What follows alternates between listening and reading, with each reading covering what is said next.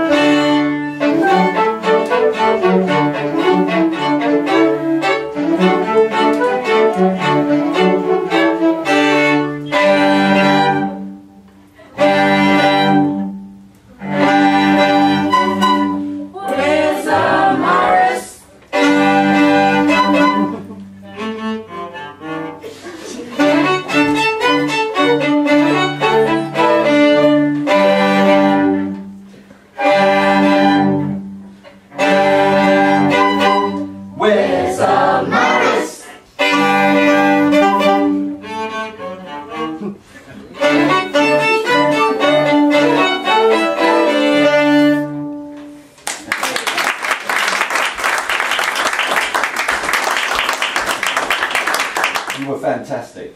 It was actually funnier when you weren't fantastic.